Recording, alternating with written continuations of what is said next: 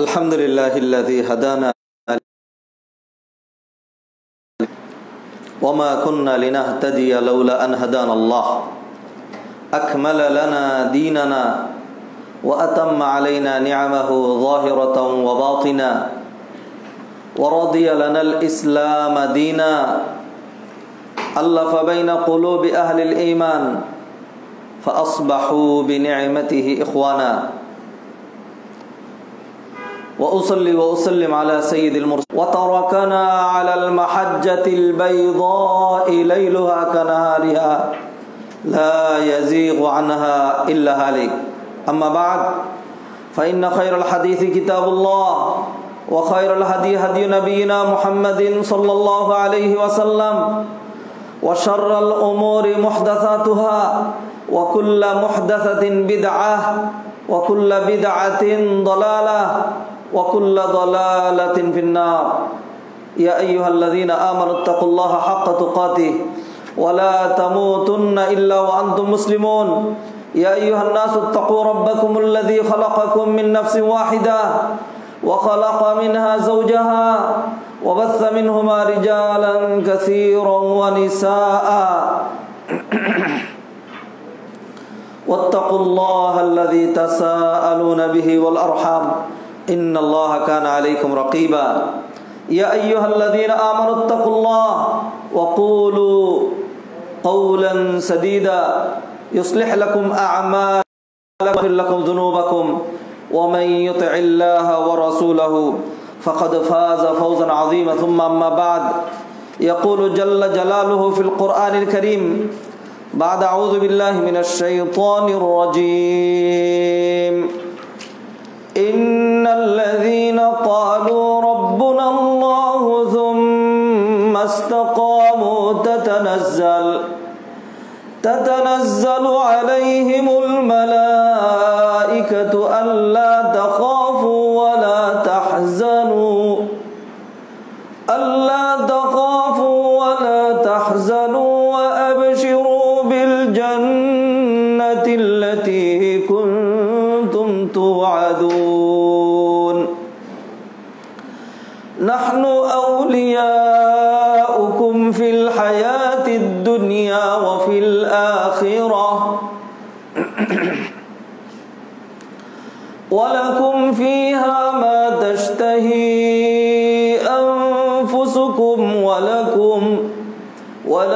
فيها ما تدعون.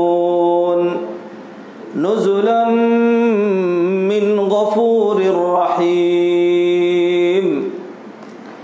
وعن سفيان بن عبد الله الثقفي رضي الله تعالى عنه قال قلت يا رسول الله قل لي في الإسلام قولا لا أسأل عنه أحدا بعدك. قال قل آمنت بالله ثم استقيم. رواه مسلم. وعن أبي هريرة رضي الله عنه قال قال رسول الله صلى الله عليه وسلم قاربوا وسددوا واعلموا أنه لن ينجو أحد منكم بعمله. قالوا ولا أنت يا رسول الله. قال ولا أنا إلا أن يتغمدني الله برحمة منه وفضل. رواه مسلم. الحمد لله الحمد لله الحمد لله. مسلمين الكرام দিনদার, মোত্তাকি, পরহেজগার, ভাই ও বোনেরা, আল্লাহ তাআলা মাহে রমাদানের পর শাওয়াল মাসেও আমাদেরকে নেক আমলের উপর অবিচল, অটল অনর দৃঢ় থেকে প্রতিযোগিতা করে খতিব সাহেব জমার খুদ্া শুরু করার পূর্বেই মসজিদে হাজির হওয়ার তৌফিক দিয়েছেন, আলহামদুলিল্লাহ। মাহের রমদানের পর মুসলিনে কেরাম, সাইমিন, রোজাদার, মুসলিমগণ দুই ভাগে বিভক্ত হয়ে যায়। একদল যারা মাহে রমাদানে আল্লাহকে অল্পের জন্য একটু চিনেছিল, তারা আল্লাহকে বলে যায়। মসজিদের সাথে যারা সম্পর্ক করেছিল ভিত্তিক জীবন গঠন শুরু করেছিল। সিয়াম, কিয়াম, সলাৎ, ইনফাক, তেলাওয়াতুল কোরআন।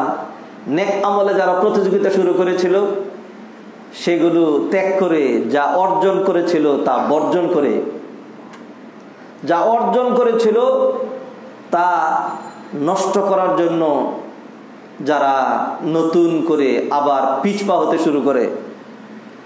এই হলো একদল আরেক শ্রেণি যারা মাহের রমাদানে আল্লাহকে চিনেছিল, সেই আল্লাহর সাথে ভালোবাসার সম্পর্ক, মহব্বতের সম্পর্ক, মসজিদের সাথে সম্পর্ক তাকুয়া অনুশীলন, এটি তারা ধরে রাখে, আল্লাহকে ভুলে যায় না, মসজিদ ছেড়ে দেয় না।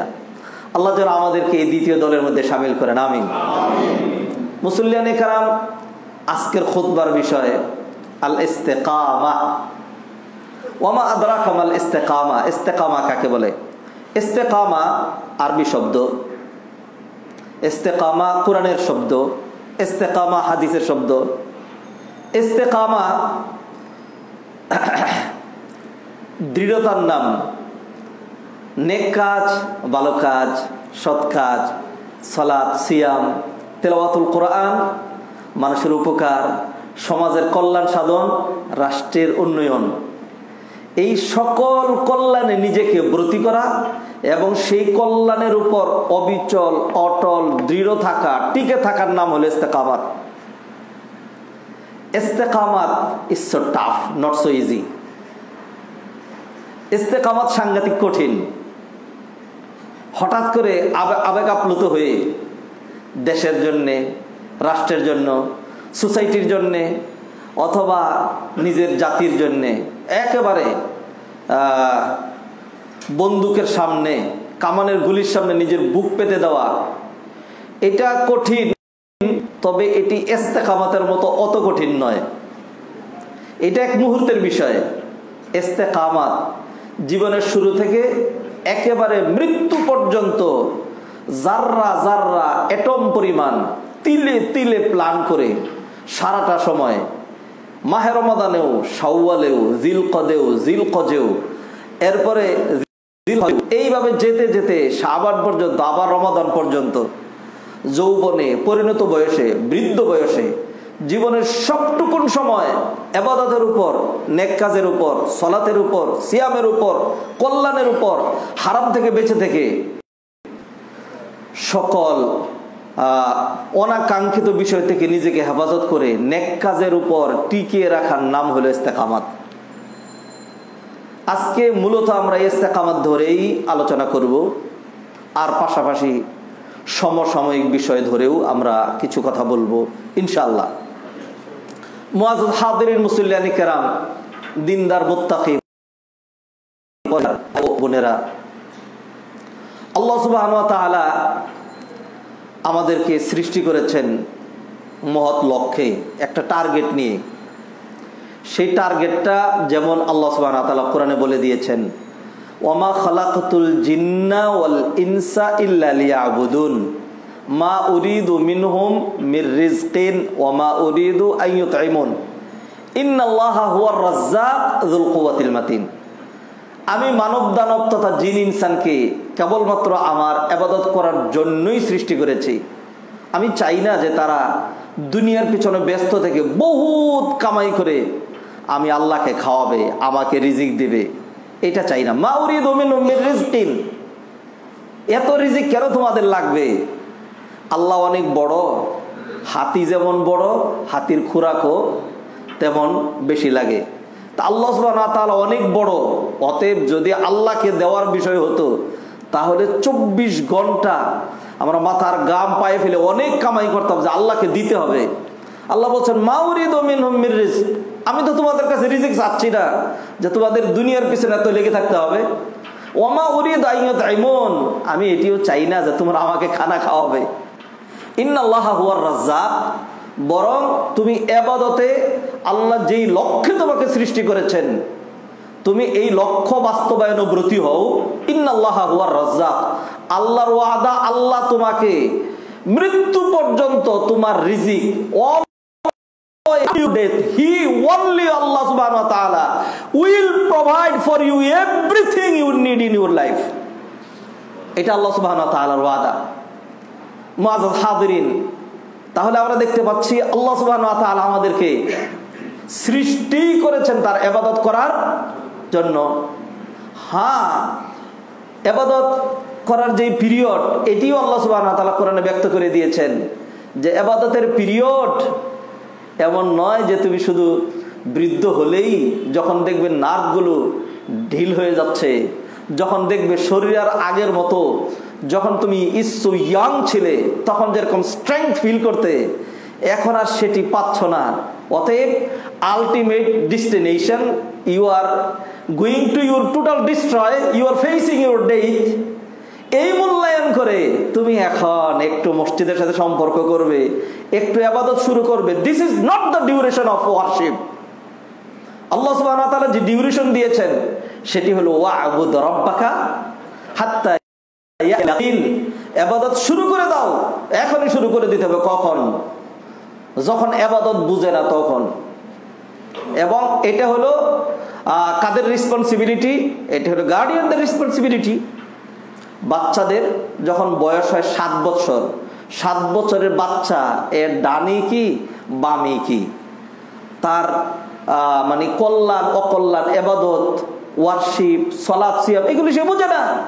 কিন্তু নবীজি সাল্লাহ সাল্লাম বললেন মুরু মুরু আউলাদাকুম বিসলাতি ইদা বালাগু সাবা অথবা ওহুম সাবঈ সিনিন, যখন তাদের বয়স মাত্র সাত বছর তখনই তাদেরকে সলাতের জোর তাগিদ দিতে হবে, সলাৎ শিখাইতে হবে।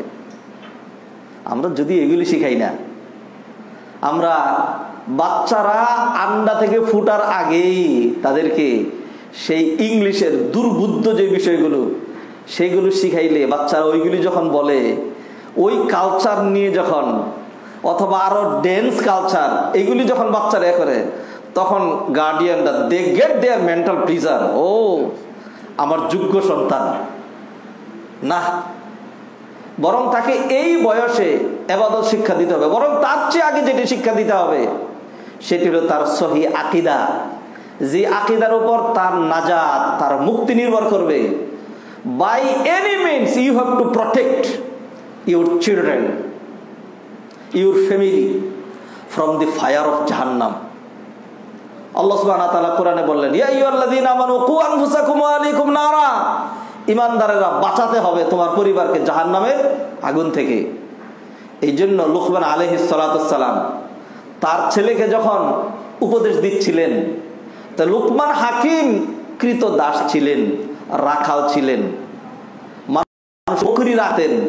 সেইখান থেকে তিনি যেই পুরা সমাজের নেতৃত্বের সম্মানজনক আসনে তিনি যে অধিষ্ঠিত হয়েছেন সন্তানকে তো এটি শেখানোর দরকার ছিল যে, বাজান, আমি কীভাবে নেতা হয়েছি জানো? তুমি যদি নেতা হতে চাও, আর আমার এই নেতৃত্ব, কর্তৃত্ব, আমার ওয়ারিস আমার মিরাজ, আমার ইনহেরিটেন্স এটি যদি তুমি ধরে রাখতে চাও, তাহলে তোমাকে এই কাজ করা লাগবে।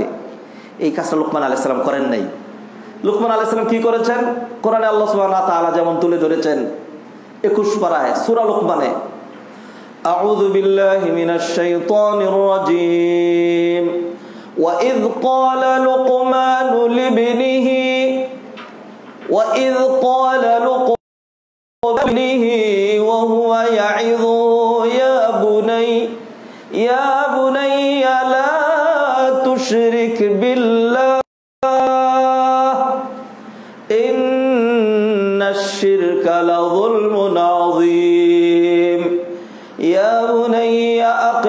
الصلاة وأمر بالمعروف وانه عن المنكر واصبر على ما أصابك يا بني إنها إن تك مثقال حبة من خردل আমি তিন জায়গা থেকে তিনটা আয়াত মাঝখানে আল্লাহ সুবাহ যে উপদেশ তুলে ধরেছেন সে আয়াত রয়েছে আমি সেদিকে যাইনি লুকমান আলাইসাল্লাম তার ছেলেকে উপদেশ দিচ্ছেন। সর্বপ্রথম গুরুত্ব দিলেন আকিদার বিষয়। প্রিয় বৎস, কলিজার টুকরা, নয়নের মণি সবচাইতে ইম্পর্টেন্ট ম্যাটার বিষয় যেটি, সেটি হলো কি কোশ্চিন কালেও আল্লাহর সাথে কাউকে শরিক করতে পারবে না। এরপরে শির্কের যেই জঘন্যতা সেটিরও ব্যাখ্যা দিলেন। শেষিকে বলছেন, ইয়া বুনাইয়া, ইন্নাহা ইনতাকু মিসকাল হাব্বাতিম মিন খারদাল। যৎসামান্য শিরক অকল্যাণ যদি করো, যেখানেই থাকুক না কেন আল্লাহ সুবহানাহু ওয়া তাআলা সেটি বের করে নিয়ে আসবেন। তারপরে বলছেন, ইয়া বুনাইয়া আকিমে সলা। প্রিয় বৎস, তোমাকে সলাৎ কায়েম করতেই হবে। বিল মারুফ, সৎ কাজের আদেশ অন্যের বারণ তোমাকে করতেই হবে। হাদরিন এগুলো গার্ডিয়ানের দায়িত্ব। তার সন্তানদেরকে এই কাজগুলো শেখানো। এই যে এই বয়স থেকে শুরু হবে সাত বছর শুরু হবে। এই যে মাহের রমাদন গেল। আমাদের কত গার্ডিয়ান সন্তানের মায়ায়। নাবাজান, তুমি এখনও ছোট, তোমার বয়স মাত্র একুশ বছর। হ্যাঁ তুমি রোজা রেখো না, তুমি শুকিয়ে যাবে। হুম হ্যাঁ আমরা তো রোজা রাখছি, তুমি বড় হলে রাখবে। অ্যাডাল্ট হয় না আঠারো বছর অ্যাডাল্ট হয়। যখন তার চরিত্রের সওয়ার থাকে না, সব যখন খোয়ানো শেষ, তখন আমরা বলি অ্যাডাল্ট হয় নাই তো ইমেচিউর ইমেচিউর সন্তানের যেন যেন আবদার আপনি রাখতে পারেন, সন্তানকে আপনি একটু সিয়াম রাখাতে পারেন না। সন্তানকে আপনি অনুমতি দিতে পারলেন, তুমি তোমার ফ্রেন্ডের বাসায় চলে যাও। মা, আমি তো আমার ফ্রেন্ডের বাসায় যাচ্ছি। হ্যাঁ যাবে তো, মেয়ে তো একটু বড় হয়েছে। একটা কালচার আছে না? হ্যাঁ আমরা কি এত আনকালচার এত ব্যাকডেটেড নাকি? সন্তান বড় হয়েছে, একটু ফ্রেন্ডের বাসায় যাবে না। তা কি হয়েছে? কিছুই হয় নাই। এরপরে জানো গেছে মানো গেছে জানো গেছে। না কিচ্ছু নিলাম না, যারা দুনিয়ার খবর রাখেন সব জানেন। মহাজ হাদরিন সম্মানিত ভাই বোনেরা, আমি এস্তেকামাত নিয়ে আলোচনা করব, কথায় কথা টেনে নিয়ে আসে। পিছনে আমাদেরকে যেতে হয়। এবাদতের যে ডিউরেশন আমরা যেটি বুঝেছি, অধিকাংশ মুসলিম যেটি বুঝেছে যে মাহে রমাদান আসলে মসজিদের সাথে সম্পর্ক করব, মাহে রমাদান আসলে আল্লাহকে চিনব, এরপরে আর আল্লাহকে আমরা চিনব না। এবাদতের ডিউরেশন এটি নয়। এবাদতের ডিউরেশন হলো সেই যখন বাচ্চা তখন থেকে সে শুরু করবে। হ্যাঁ একটা ছোট্ট বাচ্চা যতক্ষণ সে অ্যাডাল্টটা হচ্ছে।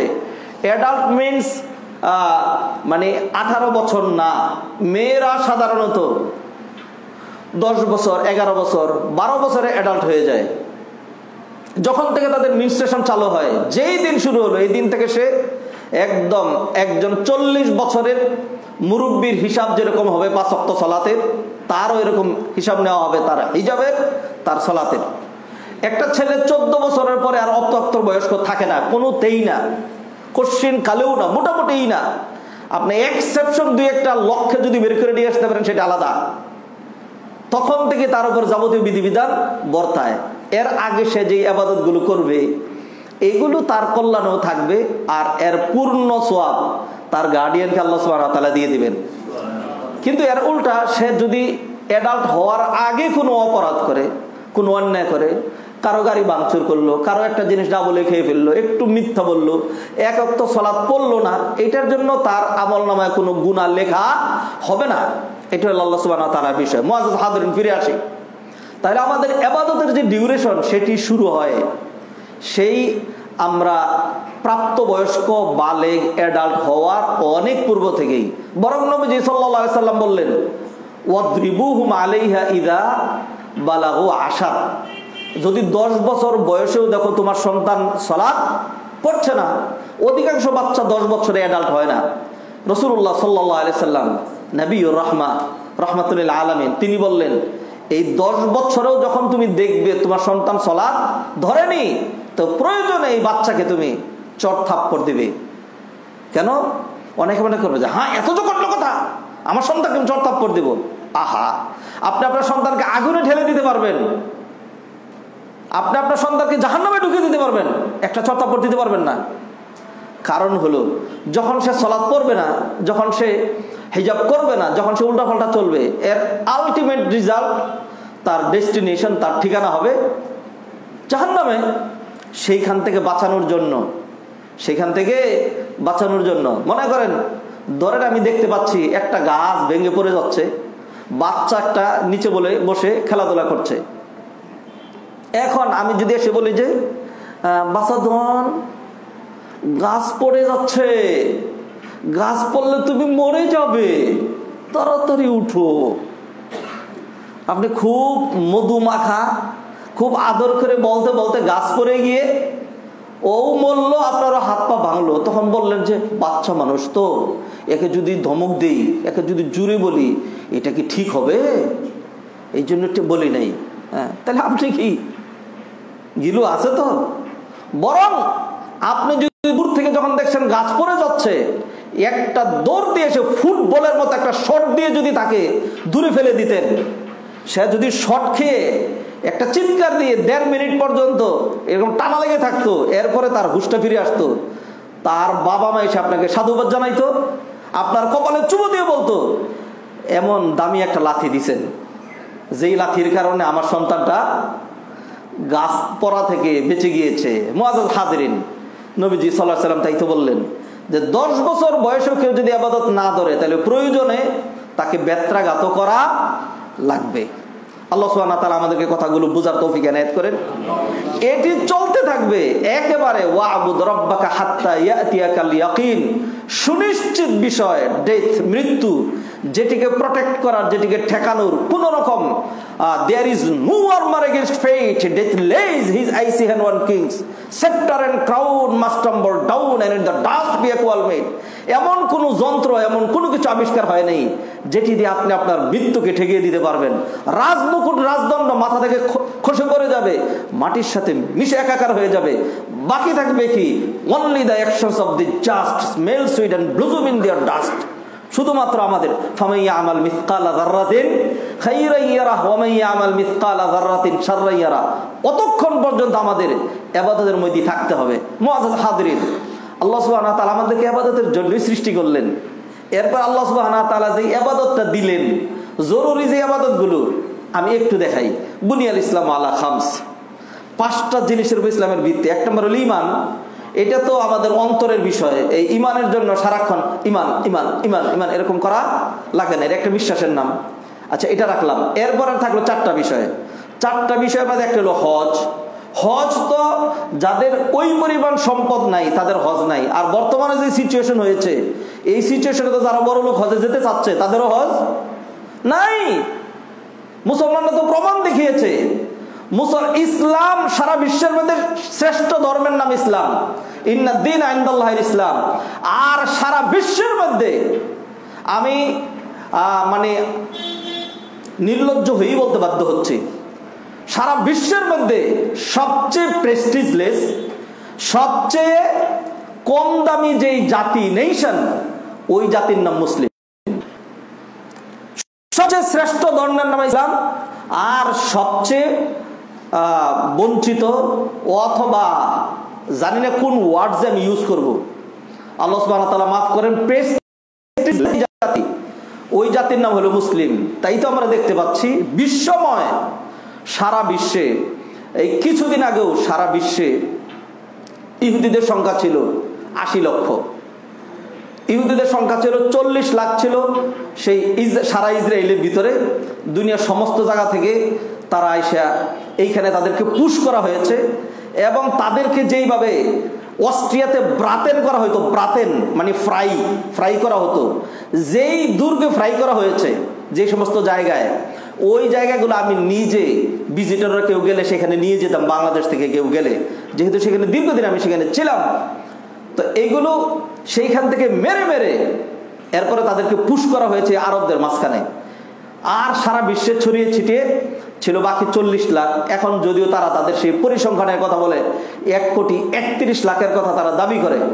যাই হোক হাদরিন সেই ইহুদিরা আজকে সারা বিশ্বের মুসলমানদেরকে কানে ধরে উঠাচ্ছে, কানে ধরে বসাচ্ছে, যেমনে যা খুশি তা করছে। এমন কোনো মুসলিম কান্ট্রি নাই, যেই দেশে সেই আজকে এই শুধুমাত্র অল্প কয়েকটা ইহুদির রাজনীতি, তাদের কূটনীতি, তাদের অঙ্গুলি নির্দেশ এবং তাদের সেই আস্ফালন কার্যকরী নয়। আমি সেই ক্ষেত্রে I feel my proud to be Bangladeshi. I feel my proud to be Bangladeshi. শুধুমাত্র বাংলাদেশ শুধুমাত্র বাংলাদেশ, এই প্রেস্টিজ রক্ষা করেছে। এই এটা রক্ষা করেছে। তারা আজও পর্যন্ত ইসরায়েলিরা সর্বপ্রথম বাংলাদেশের স্বীকৃতি তারা দিয়েছিল। কিন্তু বঙ্গবন্ধু শেখ মুজিবুর রহমান প্রেস্টিজ নিয়ে with with his great prestige তিনি এটিকে প্রত্যাখ্যান করেছিলেন। সেই থেকে আজও পর্যন্ত বাংলাদেশ ইসরায়েলের সাথে, ইহুদিদের সাথে সম্পর্ক করেনি। আলহামদুলিল্লাহ। সম্মানিত ভাইয়েরা, আজকে এত দুইশো কোটি মুসলিম যে এক কোটির এগেনস্টে এক লাখ ইহুদি নেই, তারা সারা বিশ্ব পরিচালনা করছে। ফিলিস্তিনের যে বর্তমান যে ইস্যু, এটি আলোচনা করে আমি আমার এস্তেখামাতের বিষয়কে সংকুচিত করতে চাই না, আপনারা প্রত্যেকেই জানেন। আমাদের কিছু দায় দায়িত্ব রয়েছে। করণীয় কি? প্রশ্ন আসতে পারে যে আপনি আজকে এই আলোচনা করলেন। আপনি ফিলিস্তিন প্রসঙ্গ কেন আলোচনা করলেন না? অবশ্যই সেটি আলোচনা নিয়ে আসতে হবে। সেই জন্য প্রসঙ্গক্রমে আমি সেখানে ঢুকেছি হাদরিন। সম্মানিত ভাই বোনেরা, বলছিলাম ইসলাম শ্রেষ্ঠ ধর্ম, সবচেয়ে শ্রেষ্ঠ ধর্মের নাম ইসলাম। যেই ধর্মের ক্ষেত্রে আল্লাহ সুবাহ তালা আকাশ থেকে ঘোষণা দিলেন আলিয়া আকমাল তুলাকুম দিন আকুম আমি আল্লাহ নিজে তোমাদের ধর্মকে পরিপূর্ণ করে দিয়েছি। পরিপূর্ণ কাকে বলে? মাকড় সাকি কিছুক্ষণ ঘুরে ঘুরে একটা জাল তৈরি করে, এরপরে মাকড় সমনে করে যে I have completed my house এটা মাকড় সমনে করে। আল্লাহ কোরআনে বললেন, ওয়া ইন্না আউহানাল বুয়ুতি লাবাইতুল আনকাবুত। মাকড়সার যে বাড়ি, এর চাইতে তুচ্ছ, এর চাইতে দুর্বল আর কোনো বাড়ি নেই। এক জাটার বাড়িতে সব শেষ। আমরা যারা আপনারা যারা শান্তিনগরের কি বলে যে, শান্তিকুঞ্জ যারা থাকেন, আপনাদের শান্তি নিবাস অথবা শান্তি টাওয়ার তৈরি করার জন্য কি পরিমাণ টাকা মাটির নিচেই ডাবান ওই টাকাগুলো দিয়ে দেখবেন, এক একটা পিলারের টাকা দিয়ে গ্রামে একজনের একটা বিশাল ঘর হয়ে যায়। কোনো রকম একটা ছাউনি দিতে পারলে, একটা বেড়া দিতে পারলে, সে স্বস্তির নিঃশ্বাস ফেলে বলে, আলহামদুলিল্লাহ, আমার একটা ঘর হয়েছে। তো প্রত্যেকেই তার তার আঙ্গিকে কাজ করে। তো আল্লাহ সুবাহ তারা যিনি ত্রুটি মুক্ত তিনি আমাদের ধর্মটাকে এমনভাবে কমপ্লিট করেছেন you can never imagine this is challenge you can never imagine any problem of your life কোন রকম অথবা any matter related either with our দুনিয়া অর উইথ আওয়ার আখেরাত। For our success or to get our mental pleasure. এমন কোন problem আপনি you can never imagine কল্পনাই করতে পারবেন না। যার ডিভাইন সলিউশন যার রব্বানি সমাধান, আল্লাহ সুবাহ আমাদের ধর্মের ভিতরে দেননি। আল্লাহ আকবার। এইটার নাম ইসলাম। আপনি আপনি বলেন যে কোনো ধর্মকে আপনার অমুসলিম বন্ধুরা আছে না? তাদেরকে জিজ্ঞেস করে দেখেন, গিয়ে বলেন যে আমার অমুক বন্ধু, আমি তো একটু বাথরুমে যেতে চাই। তুমি কি আমাকে অ্যাকর্ডিং টু ইউর রিলিজিয়ন আমাকে গাইডলাইন দিতে পারবে? বাথরুমে আমি কীভাবে যাব? তখন সে বলবে যে, দেখো, আমি অমুক ধর্মের, তুমি মুসলিম, সেই জন্য তুমি আমার ধর্মকে নিয়ে কটাক্ষ করতে পারো না। তুমি বাথরুমে যাবা, সেখানে ধর্মটা নিয়ে আসলে কেন? আমার ধর্মকে তুমি অবজ্ঞা করলে কেন? কারণ তার ধর্মে বাথরুমে যাওয়ার গাইডলাইন নাই। আপনি কীভাবে হাঁটবেন, আপনি কীভাবে হাসবেন, আপনি কীভাবে মাপবেন, আপনি কীভাবে ব্যবসা করবেন, আপনি কীভাবে স্ত্রীর সাথে স্ত্রীর কাছে যাবেন, এমন সকল বিষয় দিন ইসলামের ভিতরে আছে। ডিটেলস যেন না হয়, আমার পয়েন্টটা যেন আমি যৎসামান্য হলে আলোচনা করতে পারি, এই জন্য লম্বা করলাম না মোয়াজ হাদরিন এমন একটি ধর্মের নাম ইসলাম। অন্য ধর্মের কাছে আপনি যান, সেইখানে আপনি এইগুলো কেন? এর চেয়ে আরও বড় বড় বড় বড় বড় বড় মেটা আপনি খুঁজেও পাবেন না। পাবেন দুই চারটা মূলনীতি। জীবে দয়া করো, জীব হত্যা, মহাপাপ। জীবে দয়া করো, কুত্তার প্রতি দয়া করো, কিন্তু মুসলমানের প্রতি দয়ার দরকার? মুসলমানদেরকে নিধন করলে কোনো অসুবিধা নাই। রাখবাটা তোর ধর্ম, এটার নাম ধর্ম? এই জন্য আল্লাহ সুবাহ তাআলা বলেন ওমাইয়াবতাগি গায়রাল ইসলামি দীনান ফালা ইকবাল মিন ওয়া হুয়া ফিল আখিরাতি মিনাল খাসিরিন। হাদিরিন ফিরে আসছি। আল্লাহ তাআলা সবচাইতে কমপ্লিট সবচাইতে লেটেস্ট সবচাইতে আধুনিক, সবচেয়ে বেশি উপযোগী চিরস্থায়ী যে ধর্মের কথা আল্লাহ সুবাহ তাআলা বলেছেন, সেটির নাম ইসলাম। আমাদের ইসলাম ধর্মের মূল মূল যেই ধর্মীয় গ্রন্থ আল কোরআন দেড় হাজার বছর হয়েছে। একটি জের জবর উল্টা সিধা হয় নাই। একটি জবর। আর এই এই কোরআনের হাফেজ বিশ্বে কোটির উপরে মানুষ, কোটির উপরে মুসলমান। পুরো কোরআন মুখস্থ, পুরো কোরআন মুখস্থ। আমাদের প্রতি মসজিদে দুইজন, তিনজন। বরং এখন এত হাফেজ হয়েছে যে প্রতি জামাতে, প্রতি মসজিদেই আট, দশ জন এরকম অতিরিক্ত থাকে যারা তারাবি পড়াচ্ছে না। মহাজ হাদরিন, যাই হোক, ফিরে আসছি। তো এইটা ছিল আমাদের ধর্ম, আর আমরা ওই ধর্মের অনুসারী হয়ে এত পেস্টিজলেস হয়েছে, আজকে আমাদের উপর দিয়ে। খ্রিস্টান, বৌদ্ধ, তারা তো পৃথিবীতে সংখ্যায় অনেক বেশি, তাদের কথা বাদই দিলাম। এর চেয়ে কম যাদের কোনো সংখ্যা নাই, যাদের কোনো কয়টা দেশ আছে? Muslim country Muslim populated country যেগুলো, এরকম কান্ট্রি হলো সাতান্নটা। সাতান্নটা মুসলিম কান্ট্রি আর এমন কোনো দেশ নেই বিশ্বের যেখানে মুসলিম নেই। অস্ট্রিয়ার মতো জায়গায় ইসলাম স্বীকৃত দ্বিতীয় ধর্ম। অসংখ্য মসজিদ ইসলামিক সেন্টার সেখানে রয়েছে। এগুলো আমি নিজে সেখানে নতুন করে দুটো তৈরি করেছি। আমি নিজে, আলহামদুলিল্লাহ। মহাজ হাদরিন, তো এরপরে আমাদের কোথায়? আমাদের অবস্থান কোথায়? আমাদের কোনো অবস্থান নেই। আজকে আপনি বিশ্বের একশো ইহুদি মেরে দেখেন। আপনার কি অবস্থা হয়? হাজার হাজার মুসলমানদেরকে যে নির্বিচারে নিধন করা হচ্ছে, সেই জন্য সারা বিশ্ব চুপ। বরং অন্যরা সবাই বলছে যে, না, ইসরায়েলের তো রাইট আছে, এটা তো তারা করতেই পারবে। বড় বড় দেশগুলো যাদের দিকে আমরা তাকিয়েছি ভুল এইখানেই। আমরা চাচ্ছি যে ও পরাশক্তি, ও আমেরিকা, তুমি তাদেরকে থামাও। আসলে ওদেরকে তো এইখানে বসাইছে তারাই। এটা তো তাদের জন্য বাস্তবায়ন করছে, অতএব তারা এগুলি থামাবে না। হাদরিন আমাদের করণীয়, এরপরে মেস্তা খামাতে চলে আসছে। আমাদের করণীয় কি? বর্তমানে এই প্রেক্ষাপটে আমাদেরও কিছু করণীয় রয়েছে। ফিলিস্তিনিদেরকে এইভাবে মারতেই থাকবে, মুসলমানদেরকে মারতেই থাকবে। আপনি চুপ করেই থাকবেন? না। চুপ করে থাকতে পারেন না। বরং আমাদের কাজ কি? আমাদের কাজ, নবীজি সাল্লাহ সাল্লাম বলে দিয়েছেন মানরা আমিন কমন কারণ ফালি রুবিয়াদি অন্যায় যে কেউ প্রত্যক্ষ করবে, তার উচিত হলো শক্তি প্রয়োগ করে এটা চেঞ্জ করা। যদি আজকে আমাদের শক্তি থাকতো, তাহলে ইসরায়েলের বিরুদ্ধে আমরা ঝাঁপিয়ে পড়তাম। এই অন্যের বিরুদ্ধে, ইসরায়েলের কথা নয়, এ অন্যের বিরুদ্ধে আমরা ঝাঁপিয়ে পড়তাম আমাদের সেই শক্তি নাই। এই জন্যই নবীজি সাল্লাম হালকা করে দিয়ে বললেন ফাইল্লাম ইয়াস্তাতে, যদি তাদের শক্তি সামর্থ্য না থাকে ফাবি লিসানি তাহলে জবান দিয়ে বারণ করবে। ফাইল্লাম ইয়াস্তাতে ফাবি কালবি আর তাও যদি না থাকে, তাহলে অন্তর দিয়ে ঘৃণা করবে। মহাজ হাদরিন, আমি আমার আজকের এই খুতবা থেকে আপনাদের সবাইকে নিয়ে আমি এই মসজিদের প্রতিনিধি হয়ে আমি ধিকাচ্ছি তাদের এই জঘন্য কাজের। এটি যে মুসলমানদের বিরুদ্ধে করার কারণে আমাদের দায়িত্ব, এটি নয়।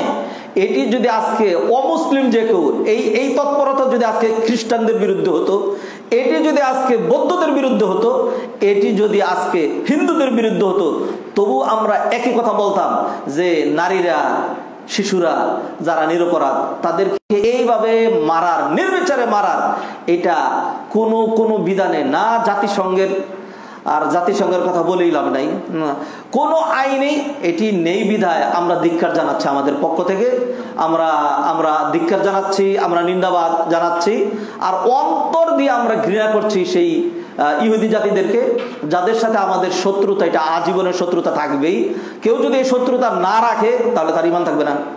কারণ হলো আল্লাহ সুবহানাহু ওয়া কোরআন এটা বলে দিয়েছেন, লাতাজিদান্না আশাদ্দান নাসি আদাওয়াতান লিল্লাযিনা আমানুল ইয়াহুদা ওয়াল্লাযিনা আশরাকু। ভূ মানচিত্রে মুসলমানদের সবচেয়ে বড় শত্রু হলো দুটো জাতি। একটি জাতির নাম আরেকটা জাতির নাম হলো হিন্দু। এই দুটো জাতির সারা জীবন মুসলমানের প্রধান শত্রু হিসাবেই থাকবে। এটি আল্লাহ সুবাহ জানেন। কারা আমাদের বড়? শত্রু। অতএব এত চাটন দিয়েন না দাদার পায়ের মধ্যে।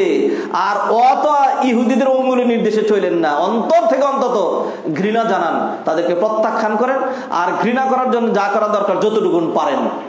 আর যদি কোনো সুযোগ থাকে, আমার জানা নেই কোনো সুযোগ আছে কিনা, ফিলিস্তিনি ভাইদেরকে সহযোগিতা করার, নতুবা সর্বশেষ আমাদের যে হাতিয়ার আদোয়া ও সেলাহুল মৌমিন, আল্লাহর কাছে কায়মনুবাক্যে চোখের পানি ছেড়ে দিয়ে তাদের জন্য দোয়া করা, নতুবা অপেক্ষা করতে থাকেন, এমন দিন দূরে নয় যেই দিন আমি আপনি কাঁদবো, আর তখন বলব, আহারে, আমাদের পক্ষে কেউ দাঁড়াইলো না, আমাদের জন্য কেউ একটু চোখের পানি ছাড়লো না আমাদের জন্য কেউ মাঠে নামলো না। এটা আল্লাহ সুবাহ নবী, বিধান।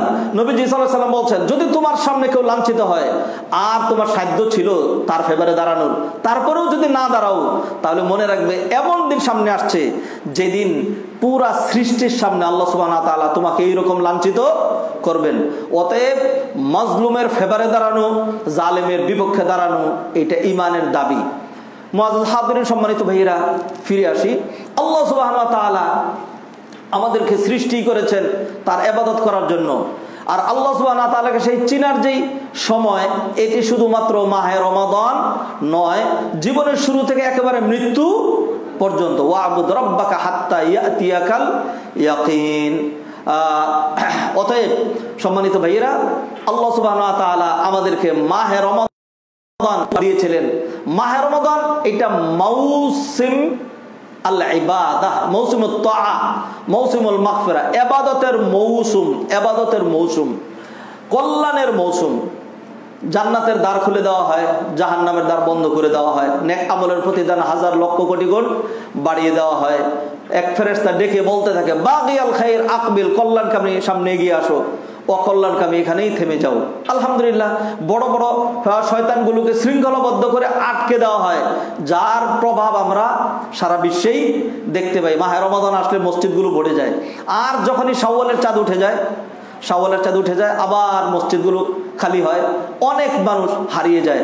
আমরা যেন হারিয়ে না যাই, আমরা যেন অবিচল, অটল অনর থেকে দৃঢ় থেকে আমরা যেন এবাদতের উপর থাকি, সেই জন্য আজকের খোতবা আল ইস্তেকামা মুআজ হাদরিন সম্মানিত ভাই ও বোনেরা, দেখুন, আল্লাহ সুবাহ তাআলা মাহে রমাদান আমাদেরকে যে উপহার দিয়েছেন এবং তিনি যে একটা পরিবেশ তৈরি করে দিয়েছেন এইটা নট ওয়ানলি ফর রমাদান শুধু রমাদানের জন্যই এটি নয়, বরং এটা একটা ট্রেনিং পিরিয়ড এটা একটা ট্রেনিং পিরিয়ড ট্রেনিং এর জন্য উপযোগী পরিবেশ লাগে। আল্লাহ সুবাহ তালা সেই পরিবেশ করে দিয়েছেন। এই ট্রেনিং বাস্তবায়নের সময় হলো বাকি এগারো মাস। ধরেন আমাদের সরকার অনেক টাকা খরচ করে কিছু যুবককে বাছাই করে তাদেরকে নিয়ে ছয় মাস ট্রেনিং দিল। কষ্ট করালো অনেক। এই ট্রেনিং দাও, এরপরে তুমি এই র্যাঙ্কে সেনাবাহিনীর র্যাঙ্কে উঠবে। তোমার, তোমাকে তোমাকে নিয়ে কাজ করা হবে। এরপরে যখন তাদের হাতে অস্ত্র দিয়ে দেওয়া হলো, যখন শত্রুর মোকাবেলা তাদেরকে নামিয়ে দেওয়া হলো, তখন তারা বলে যে বন্দুক তো ভারী লাগে। হ্যাঁ গুলি তো করতে পারব না। আর রোদ্রে তো যেতে আমি পারব না। আমার তো আরাম করতে ইচ্ছা করছে। হ্যাঁ আমি তো ছয় মাস কষ্ট করছি, এখন তো আমি শুয়ে থাকব। তখন শয়তান তাকে ডান্ডা ফেরে বলবে যে, আরে কম বক্তা, তোরে এই কাজের জন্য সৃষ্টি করা হয়েছিল। তোকে শুধু ট্রেনিং পিরিয়ডের জন্য তোকে ট্রেনিং দেওয়া হয়নি। ট্রেনিং পরবর্তী যে জীবন, সেটির জন্য ট্রেনিং দেওয়া হয়েছিল। হাদরিন মাহের রমাদান একটা ট্রেনিং পিরিয়ড এই তিরিশ দিন আমাদেরকে ট্রেনিং দেওয়া হয়েছে।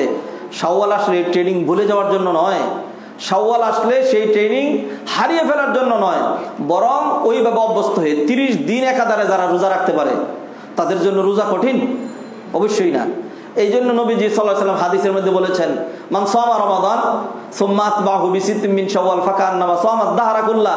যে ব্যক্তি রমাদান মাসে সিয়াম পালন করার পর সাওয়ালে সে আরও ছয়টা রোজা রাখে ফাঁকা আন্নামা সোমাত সে যেন সারা বছর রোজা রাখল। এটা হলো একটা ব্যাখ্যা। আরেকটা ব্যাখ্যা হলো, আর দাহার মানে এক বছরের নাম না সমাদ দাহার। দাহার মানে বলা হয় এক যুগ এক যুগ হলো বারো বছর এইটা হলো একটা। আরেকটা হলো, দাহার মানে হলো একেবারে যুগ খে যুগ মানে শত শত বছরকে বলা হয় দাহার। সে যেন সারা জীবন রোজা রাখল। এই ফজিলত আল্লাহ সুবাহ তার পক্ষ থেকে আমাদেরকে দিয়ে দেন।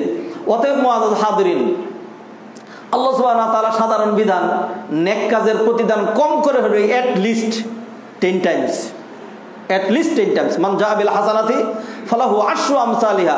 মাহের রমাদানে তিরিশ দিন রোজা রাখছি, এটাকে দশ দিয়ে গুণ দেন। একটা শূন্য বাড়ায় দিলেই হয়, তিনশো দিন।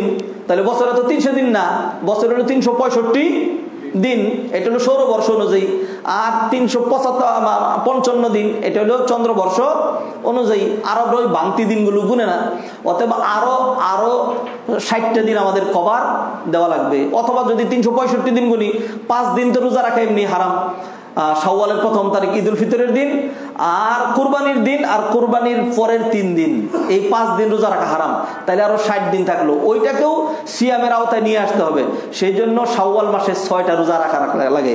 এই ছয়টা যদি রাখা হয়, ছয়কে আপনি দশ দিয়ে গুণ দেন। ছয় দশে ষাট।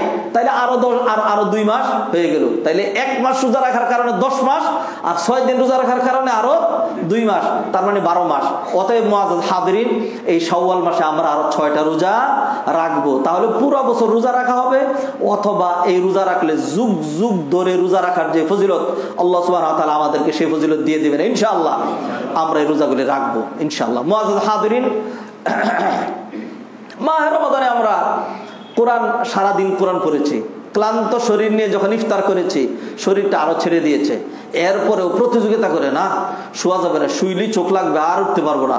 তাড়াহুড়া করে মসজিদে যেতে হবে। এই ক্লান্ত শরীর নিয়ে এশার সলাতের পরে আরও দীর্ঘক্ষণ কেয়ামুল্লাইল হোক সেটি আট রাকাত, হোক সেটি বিশ রাকাত, আমরা দীর্ঘ সময় দিয়ে আমরা কেয়ামুল্লাইল করেছি।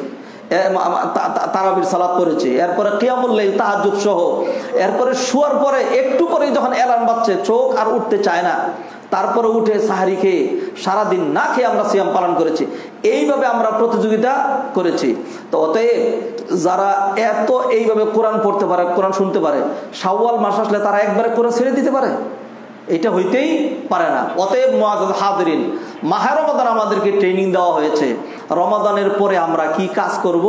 সেই কাজগুলো সংক্ষিপ্ত করে দুই চারটা পয়েন্টের মধ্যে আমি নিয়ে আসতে চাই। মোয়াজ হাদরিন মাহে রমাদান আবাদত এরপরে সওয়াল জিল কদ জিল হক আগামী রমাদান পর্যন্ত আবাদত এই বছর আবাদত এরপরের বছর আবাদত এমন নয় যেমনটি বুঝেছিলেন, যেমনটি আমরা বুঝেছিলাম যে করোনা আসছে, সাবধান, মসজিদে যাওয়া যাবে না।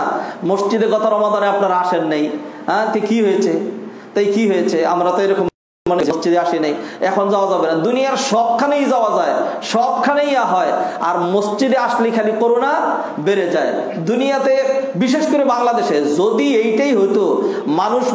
সংস্পর্শে আসলেই যদি মরে যেত, আর করোনা আক্রান্ত যদি হতো, আল্লাহর রস্তে বলছে, আমার হাতে সময় নাই। ডজন ডজন ডাক্তারদের উক্তি। আমার পিছনে নিয়মিত চলা আদায় করে এমন একজন ডাক্তার, তার স্ত্রীও ডাক্তার, সে বলছে, আমার ওয়াইফ যখন করোনা আক্রান্ত হলো, এরপরে তাকে আমি নার্সিং করতে গিয়ে আমি ভুলে গেলাম সব কিছুর কথা। তার সাথে বারবার টেস্ট করা হয়, তার এরকম মানে পজিটিভ আর আমার টেস্ট করি, এরপর আমার শুধু নেগেটিভ আসে। এরপর শেখ, এতদিন তাকে এইভাবে একই মানে রুমের ভিতরে থেকে তাকে আমি চিকিৎসা করলাম। আমার হয় নাই। আমার হয় নাই। এরপরে আমার আমার পরিসংখ্যান, এগুলি পরিসংখ্যান, মানুষের সামনে কথা বলি রেসপন্সিবিলিটি নিয়ে, এবং এটা আপনাদের রেকর্ড না, আল্লাহ রেকর্ড করছেন। এই রেকর্ডের জন্য, এই কথার জন্য আবার আল্লাহর কাঠগড়ে দাঁড়াইতে হবে বিধায়। এগুলি আমরা কালেকশন করি, এগুলি আমরা সংগ্রহ করার চেষ্টা করি। আমার জরিপে আমি দেখেছি, যারা সবচেয়ে বেশি সাবধান ছিল, ঘরের বাহিরে যায় নাই, খুব সতর্কতা ছিল, মানুষের সাথে টাচে বসা নাই। এই ধরনের লোক করুণে আক্রান্ত হয়ে মারা গেছে আশি পার্সেন্ট আর যারা সমানে চলাফেরা করেছে, তারা মারা যায় নাই। তারা মারা যায়নি মারা গিয়ে থাকলে একেবারে খুব কয়টা রিক্সাওয়ালা মারা গেছে, কয়টা তরকারিওয়ালা মারা গেছে, কয়টা মাছওয়ালা মারা গেছে। হাদরিন অতএব বিষয় যেন আমরা খালি আপনি যারা আপনার মতোই বুঝেন না, আল্লাহর কাছে কিছু সারেন্ডার করেন, এত বস্তুবাদী হইেন না। অমুসলিমদের বস্তুবাদী হওয়ার ছাড়া মেটেরিয়ালিস্টিক হওয়ার ছাড়া আমাদের আরেকটা উপায় আছে, সেটা হলো আমরা সতর্কতা অবলম্বন করব আর আল্লাহর উপর ভরসা করব। আমাদের এই বিশ্বাস আছে, যদি এটি না হতো, বাংলাদেশের মানুষ যেই ভাবে, সেই যে ব্রাহ্মণবাড়িয়া থেকে শুরু হয়েছিল, জুবাইর আহমদ আনসারির জানাজায় দেড় লক্ষ লোক হলো। গত বছরের দশ এক বছর, এক মাস আগের কথা বলছি, আমি তখন বলেছিলাম যে এটা দেখব কতজন মারা যায়। সরকার এটাকে প্রতিটা লোক যারা আসছে, এদেরকে মানে ইয়া করেছে। তাদেরকে অবজার্ভ করেছে অবজারভেশনে নিয়েছে। এরপরে দেখা গেছে একটা লোক এসে এখান থেকে আক্রান্ত হয়নি। মানুষ একসাথে হইলে আক্রান্ত হয়ে মরে যাবে। আর আলাদা থাকলে মানুষ বেঁচে থাকবে। তার মানে হইল, আপনি কি কন্ট্রোল করেন? ম্যাটার অফ ডেথ আপনি কি কন্ট্রোল করেন? অবশ্যই না। হাদরিন অতএব বিষয় এরকম না যে আমার যখন মন চাবে আমি মসজিদে যাব, আমার যখন মন চাবে আমি ইবাদত করব। মাহারমদানে তো আমি গত বছর করি নাই, এবার তো করছি, এখন আর করা লাগবে না। বিষয়টা এরকম না। মহাজাদ হাদরিন বরং এবাদতের উপর আমাদের অবিচল, অটল অনট দৃঢ় থাকতে হবে। এটা সারাটা জীবন আপনি শুধুমাত্র ভালো অবস্থায় আবাদত করবেন, অন্য সময় ছেড়ে দিবেন, তাও হইতে পারে না। অতএব মহাজাদ হাদরিন এস্তেকামাত কাকে বলে? এস্তেকামাত হলো সচ্ছল, অসচ্ছল। বৃষ্টির দিন রেইনি সিজনে অথবা আপনার মেরিজ ডে ঈদ ডে অথবা অন্য যে কোনো দিবসই বলেন না কেন, সব সময় আপনি হারাম থেকে দূরে থাকতে হবে, হালাল, হালালের উপরে থাকতে হবে আপনি এবাদতের উপরে থাকতে হবে। এইভাবে যদি থাকা হয় তাহলে সেটির নাম এস্তেকামাত এস্তেকামাত খুব কঠিন বিষয়, সাংঘাতিক কঠিন। এই জন্য উলামা একরাম বলেন আল এস্তেকামাত ও ফাউকাল কারাম, কারামা। কারামত, অলিদের যে কারামত, জায়নামাজের উপর দাঁড়াইয়া নদী পাড়ি দিয়ে চলে গেছে। এটা তো একটা কারামত। এটা একটা কারামত। তো এরকম কয়টা অলি কতবার এরকম জায়নাজের উপর হয়েছে এইটা হঠাৎ ব্যতিক্রম ধর্মী একটা দেখা যেতে পারে। আর এস্তেকামাত কোনটা? এস্তেকামাত হলো সেই শৈশব থেকে শুরু করে মৃত্যু পর্যন্ত। এইটার উপর, এই শিক্ষার উপর টিকে থাকার নাম এস্তেকামাত নবীজি সাল্লাহ সাল্লাম এই জন্য এক ব্যক্তি সুফিয়ান ইবনে আবদুল্লাহ সাকাফিরদ আল্লাহ তালান তিনি বর্ণনা করছেন, এক ব্যক্তি এসে নবীজিকে বলল ইয়ারসুল্লাহ আমাকে একটা কথা বলেন। আমি আর কাউকে কিছু জিজ্ঞেস করব না। আমাকে বেশি লম্বা কথাও বলবেন না। একটা কথা আমাকে বলবেন। একটা কথা বলেন, একটা উপদেশ আমাকে দেন। নবীজি সাল্লাহ সাল্লাম তাকে বললেন তুমি বলো আমান্তুবিল্লাহ আল্লাহর উপর ইমান আনলাম। তারপরে এর টিকে তুমি থাকো, অবিচল, অটল অনর থাকো। নবীজি সাল্লাম বললেন, করিবু তোমরা অল্প অল্প আবাদত করে ধীরে ধীরে ধীরে ধীরে তোমার ডেস্টিনেশনের দিকে এগিয়ে চলো। মৃত্যু আসবেই। এটাকে ঠেকানোর কোনো উপায়? করোনা মনে করেন, আল্লাহ আজকে উঠায় নিলেন পুরাটা। করোনা থাকলোই না। এরপরে তো যদি করোনা চলে যায়, তো ইনশাল্লাহ আমরা আর মারা যাচ্ছি না। We can survive forever বিষয়টা এমন নয় মহাজাদ হাদিরিন অতএব করোনা থাকুক অথবা না থাকুক, রমাদান থাকুক অথবা না থাকুক death is waiting for us angel of মৌথ মালাকুল মৌথ সে আপনার ঘর চিনে, আপনার বাবাকে নিয়ে গিয়েছে। একবার এই ঘরে এসে গিয়েছে, আপনার হাদরিন টাইম আমাকে ওয়ার্নিং দিচ্ছে। অতএব আমি আমার খুদ্বাকে ক্লুজ করার চেষ্টা করছি। মহাজ হাদরিন এস্তেকামাত কঠিন বিষয়। সাল্লাম আমাদেরকে বললেন, তোমরা অল্প অল্প করে তোমার মৃত্যুর দিকে এগিয়ে চলো, এবাদতের মধ্য দিয়ে। এবাদত ছেড়ে দিও না। ওয়ালামু, আর খুব ভালো করে জেনে রাখো, আন্নাহু লাইয়ান জুয়া আহাদুমিন কুম্বি আমালিহি কোনো ব্যক্তি পাহাড় পরিমাণ আমল করলে সে নাজাত পেয়ে যাবে। এটি যেন সে ধারণা না করে। সাহাবাই কারণ বললেন, আমাদের আমল তো কম। আপনার আমল অনেক বেশি। আপনি কি আপনার আমল দিয়ে পাবেন? নাকি ওলা আন্তাই রসুল্লাহ নাকি আপনিও পাবেন না? নবীজি সাল্লাহ সাল্লাম বললেন আনা, আমিও আমার পাহাড় পরিমাণ, সাগর পরিমাণ আমল দিয়ে নাজাত পাবো না। ইল্লা আইয়াতা গাম্মাদানি আল্লাহ বিরহমাতি মিনহু আল্লাহ সুবহানাহু ওয়া তাআলা যদি তার অনুগ্রহের চাদর দিয়ে আমাকে আমাকে বেষ্টনী দিয়ে দেন, তাহলে আমিও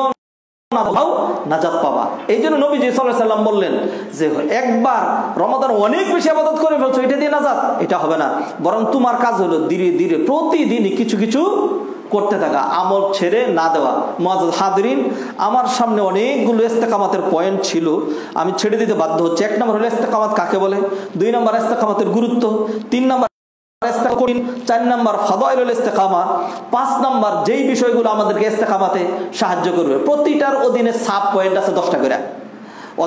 আমি বিষয়গুলো ছেড়ে দিচ্ছি সময়ের কারণে।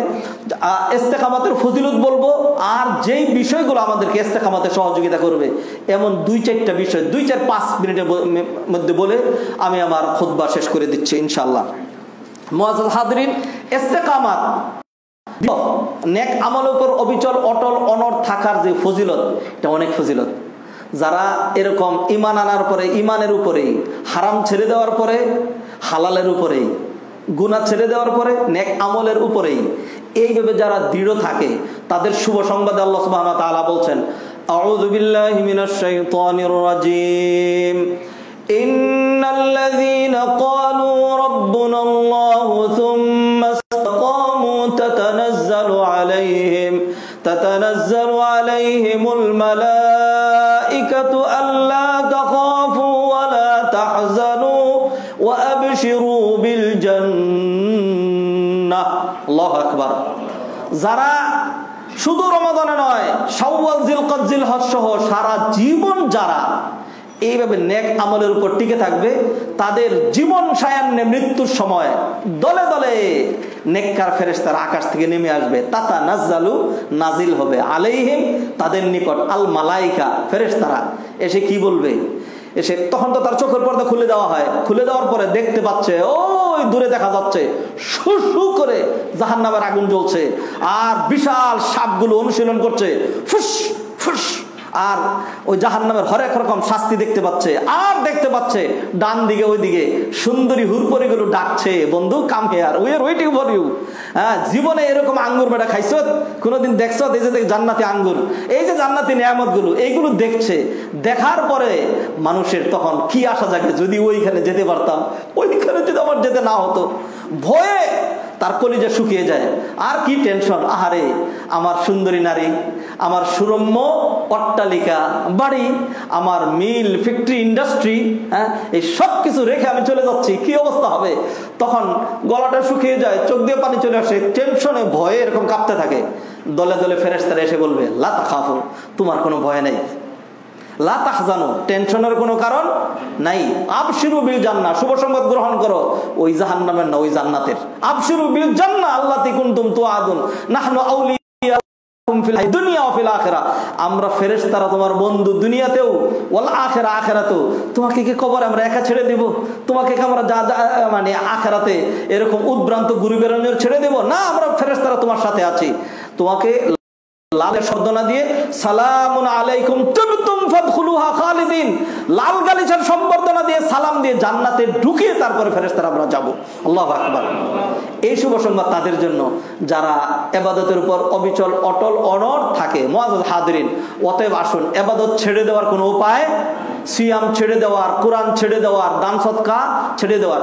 হ্যাঁ মাহের মতন মৌসুম, ওই সময় আমরা একাধারে তিরিশ দিন রোজা রাখছি। এখন তিরিশ দিন না রাখলে তিনটা তো রাখব। ইনশাল্লাহ মাহে রমাদানে এক লাখ টাকা খরচ করেছি। এখন এক লাখ টাকা খরচ না করি, এক টাকা তো খরচ করব। মাহে রমাদানে অনেক সালাদ করেছি। এখন তো পাঁচ সপ্তাহ সালাদ ছেড়ে দেওয়ার কোনো সুযোগ নাই। আল্লাহ সুবাহ তালা তিনি আমাদেরকে আবাদতের জন্য সৃষ্টি করলেন।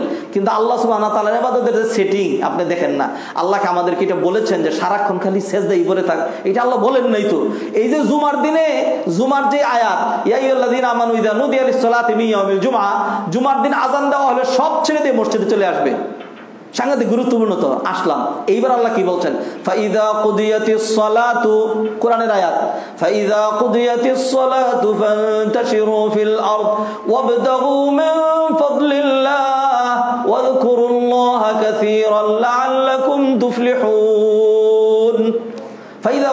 সালাতু যখন জুমার নামাজ হয়ে যায়, ফান্তাশিরু ফিল আরদ এইবারটা মসজিদে বসে থাকিস না বেরো। হালাল জীবিকার জন্য মাথার গাম পায়ে ফেল। রাষ্ট্রের কল্যাণ সাধন, সোসাইটিকে ডেভেলপ করা। তোমার জাতির জন্য কিছু করা। দুনিয়াতে খালি আপনি মাথায় টুপি দিয়ে আর লাল রুমাল দিয়ে আপনাকে দর বেশি ঘুরার কথা বলা হয় নাই। আপনাকে সৃষ্টি করা হয়েছে, কুন্তুম খাইরা উম্মাতিন উখরিজাত লিন্নাস। তোমরা শ্রেষ্ঠ ধর্মের অনুসারী, শ্রেষ্ঠ জাতি। উখরিজাত লিন্নাস, তোমাদের মিশন হলো মানব কল্যাণ সাধন।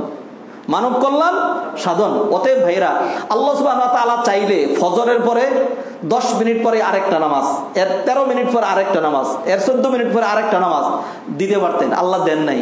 এবার তাদের সেটিংটা দেখেন দেখি কি? ফজরের নামাজ পড়ছি পাঁচটার আগে। আমরা আজকে পাঁচটার আগে। আর জমা পড়ছি সাড়ে বারোটা, দেড়টায় এসে। জোহরের নামাজ দেড়টার সময় হয় বিভিন্ন জায়গায়। এই ফাঁক সময়, বিশাল লম্বা সময় আল্লাহ গ্যাপ দিয়েছেন কেন?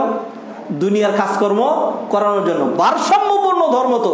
আল্লাহ আমাদেরকে এমন আবাদত করতে বলেন নাই যে রমাদানে তিরিশ দিন রোজা রাখবি, সারাক্ষণ মসজিদে পরে থাকবি, সারাক্ষণ করবি, অন্য কোনো কাজ নাই। এই ধর্ম দিয়ে আল্লাহ সুবাহ তারা আমাদেরকে পাঠান নাই। আমাদেরটা ব্যালেন্সড ধর্ম। আসুন। অতএব মাহারমাদান চলে গেছে, এই জন্য কি হয়েছে? ধরুন, আপনি অনেক পোশাক পরে মসজিদে আসলেন। এখন যখন বাড়িতে যাবেন, মাথার টুপিটা খুলবেন, আমি রুমালটা খুলবো। সবই খোলা যাবে? সবই তো খোলা যাবে না। একটা নির্দিষ্ট পোশাক তো গায়ে রাখতেই হবে। রমাদান চলে গেছে, পাঁচ হপ্তাহ নামাজও ছেড়ে দিতে পারবেন, হারামও খেতে পারবেন। রমাদানে হালাল স্ত্রীর কাছে যান নাই, রমাদান চলে গেছে, এবার হারাম নারীর কাছেও যেতে পারবেন। ইন্নারিল্লাহ হাদিন অতএব বিষয়গুলো এরকম না। রমাদানের পরে আমাদের যে বিষয়গুলো খেয়াল রাখা দরকার, এক নম্বর হলো তাকুয়ার অনুশীলন। তাকুয়া শিখেছেন, এটার অনুশীলন বাকি এগারো মাস করা লাগবে। হারাম থেকে আমাদের দূরে থাকতে হবে। সার্বক্ষণিক আমাদের তোয়াতের উপরে টিকে থাকতে হবে। কোরআন যেন আমার জীবনে থাকে। প্রতিদিন পাঁচটা আয়াত পড়বেন, দুইটা আয়াত অর্থ সহ বুঝবেন।